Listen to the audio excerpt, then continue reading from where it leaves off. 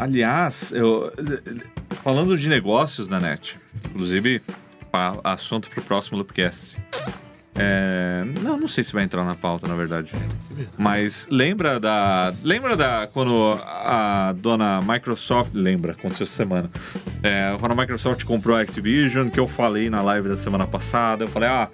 Segura as pontas, porque tem órgãos regulamentadores que, que, que vão olhar esse É, negócio aí. ela não vão- comprou, né? Ela, demo- ela demonstrou interesse de compra. Ambos os lados concordaram. Isso. O negócio é, vai ser autorizado pelos órgãos? Anunciou o interesse da compra, exatamente.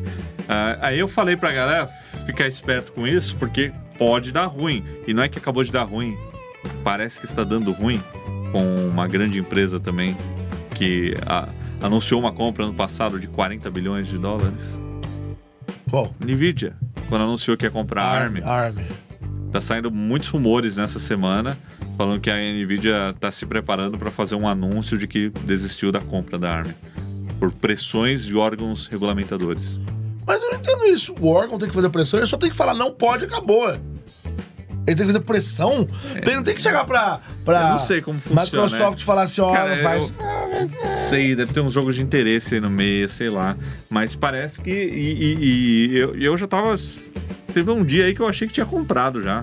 Já, já, era, já. Mas Tirou não. o dinheiro da conta, É, fez é, um Pix. Pix de 40 bilhões. 70. Eu acho outra que. Bom, vamos aguardar, né? Vamos ver qual é que é a da, o desfecho aí da Activision Blizzard. Mas eu, eu tô torcendo pra dar certo. Já falaram que vão manter os exclusivos no PlayStation. Por mim tá tudo ótimo.